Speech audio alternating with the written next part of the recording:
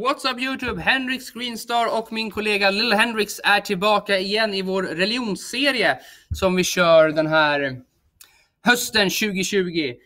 I de tidigare tre delarna, som eh, ja, tre slash fyra då, för del tre blev också den fjärde delen, avhandlade vi islam och vilka kunskaper ni behövde kunna där. Nu ska vi ta oss an del två inom hinduismen och det här kommer bli tvådelat om jag minns rätt. Så, vi kör igång. Yes, allmänt om hinduismen. Vi börjar där tycker jag. Det är alltid bra att börja lite allmänt. Det är den största religionen i Indien, så nu har vi rört oss från arabiska halvön, Mellanöstern, eh, lite längre österut till Indien. Dock mot gränsen till dit islam nådde geografiskt. Det här är en polyteistisk religion eller en panteistisk religion, alltså flera gudar. Um, eller gudar är olika yttringar av Brahma, som vi kommer att prata om senare, av universum. Det eh, återigen beror lite på hur man ser på saken. Men här har man som sagt framförallt inte en gud utan flera. Viktigt att komma ihåg. Det här är en gammal religion. Till skillnad från eh, exempelvis islam som vi pratade om förra gången som bara är ungefär 1400 år gammal är den här religionen runt 7000 år gammal. Religiösa ledare här kallas för munkar. Religiösa byggnader är tempel. Helig plats, floden Ganges, att jämföra med exempelvis Kaaba i Mekka inom islam. Och livets mening inom islam kanske det var att eh, följa Muhammeds, Koranens, Allahs budskap och komma till paradiset och inte till helvetet. Här är det befrielsen från återfödelsen, någonting som kallas för moksha. Och det ska vi titta mer på vad exakt det innebär. Så, men vi ska börja att avhandla de hinduiska gudarna och det här kommer vara fokuset för det här avsnittet. För det finns som sagt väldigt, väldigt många, närmare bestämt 33 miljoner. Och eh, vi ska inte titta på alla. Jag tänker inte göra 33 miljoner videos en per gud. Eh, om någon är så ambitiös, be my guest, men så ambitiös är inte jag. Vi ska avhandla de mest centrala. Brahman, världsalltet. Och eh, då går vi ner och eh, börjar här nere helt enkelt från vänster. Längst ner ser vi Brahman med flera olika ansikten och armar. Sen går vi vidare åt höger och tittar på Shiva, förstöraren och återskaparen. Bredvid honom står Vishnu. Oj, nu dog min röst. Äh. Eh, bevararen och försvararen.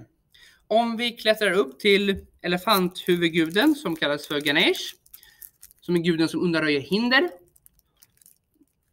Vi hoppar vidare till bilden höger i mitten. Personen, eller personen, guden som spelar flöjt är Krishna, alltså Vishnus avatar. Och sen på slutet har vi Kali, dödsgudinnan och tidsgud, tidsgudinnan, nej, tidens gudinna. Alltså gudinnan över tid. Äh, gud, jag kan inte prata. Jag sluddrar lite idag. Sorry för det. De här ska vi titta lite närmare på. Så. Vi börjar med Brahman, skaparen. Han är skaparguden och vid tidernas begynnelse gav han liv åt jordens växter, djur och människor. Låter detta bekant? Ja, man kan jämföra med Gud inom kristendomen och skapelseberättelsen. Nu för tiden tillber man inte Brahma. Eh, han har en undanskymd roll och inga tempel byggs längre till hans ära. Trots detta, alla känner till honom. Han är väldigt central ändå. Och lätt att känna igen eftersom han har fyra huvuden och i händerna håller han Vedaböckerna Eh, hinduismen har ju ingen riktig så här helig skrift på samma sätt som islam, hinduism och buddhism. Nej, vad sa jag? islam, judendom, kristendom. Herrejösses, nu börjar det bli lite ploj i skallen här. Men Vedaböckerna är en hyfsat bra motsvarighet. Så det här är Brahman, som sagt, skaparguden. Vidare till Vishnu, överguden. Vishnu är den gud som har flest anhängare. Eh, betraktar honom som den främsta av alla gudar. Han är kärleksfull och vill att gudomlig ordning ska råda i världen. Han upprätthåller balansen inom hinduism och även sen buddhism. Det handlar mycket om det cirkulära och balansen i världen och i universum. Viktigt att komma ihåg. Istället för exempelvis eh, ska jag säga rätt här, islam, kristendom, judendom, där det kanske är mer kronologiskt och linjärt, det vill säga en linje som kan böjas och krökas. Många säger att Vishnu inte är en av många gudar, utan att det är han som är Gud. Om man då ska göra en jämförelse mot eh, hur ska vi säga, det Gud motsvarar inom kristendom, judendom och islam. Han är den kraft och energi som finns i allt levande. Utan honom skulle ingenting finnas. Han är världsalltet. Han är en kraft som binder samman alla levande varelser, binds the universe together. Om ingen förstår parallellen så jämför jag till kraften, the force, från Star Wars. Så. Eh, han avbildas stående i en lotusblomma väldigt ofta, som är renhetens och skapelsens symbol. Vi har pratat om symboler tidigare inom islam. I händerna håller han symboler för sina övernaturliga egenskaper. Har, oj, jag sa fel, har ett tecken i pannan. Eh, och man kan känna igen hans anhängare, de har samma tecken. Det här är ju något, det här tecknet i pannan som kallas för kastmärke. Och vi kommer att prata mer om kast senare. Så det är Vishnu. Shiva, skaparen och förgöraren. Också en väldigt populär gud. Dyrkas framförallt av de som väljer att lämna ett bekvämt liv för att söka sanningen och vishet genom att leva i fattigdom och skes. Jag kan, jag kan verkligen inte uttala det idag, sorry. Eh, Shiva har ett vågrätt streck i pannan. Hans anhängare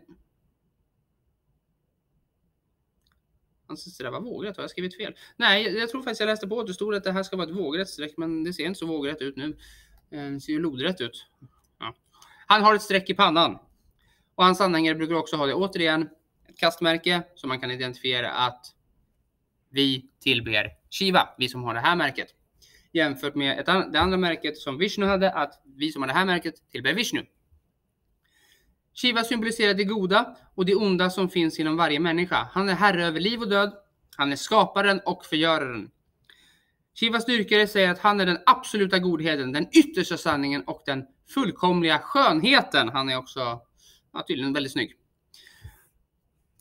Eh, så, men som sagt, gudarna har väldigt många olika symboliker här som ni kan se och som sagt identifieringen, vilket är en central roll i samhället och hur man lever, är de olika symbolerna man har i pannan och ansiktet. Viktigt att komma ihåg. Ganesh! Elefanthuvud, fyra armar, enorm mage som innesluter universum i hela dess väldighet. Just det. Bredvid honom sitter en liten råtta som eh, han använder som färdmedel. Det symboliserar också alla dåliga saker som vrede, övermod och själviskhet.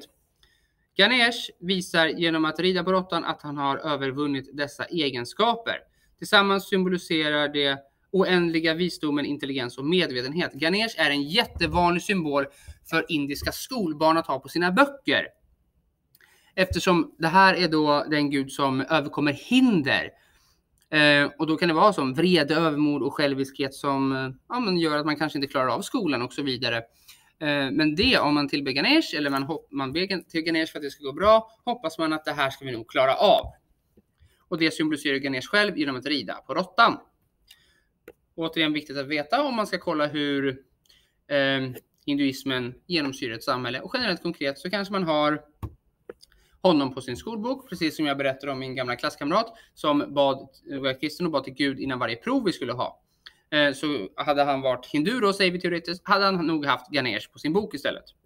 Olika sätt att se på saken, olika sätt att göra i samhället.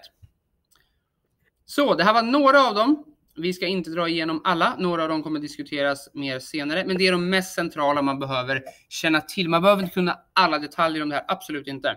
Men vi ska ta en liten uppgift och då ska ni jobba i rabbikupor och skriva följande. Vilken av gudarna inom hinduismen tycker ni är viktigast och varför? Och jämför synen på gudomlighet med kristendom och islam. Bra uppgift att göra. Återigen, handlar mycket om att jämförelsen här.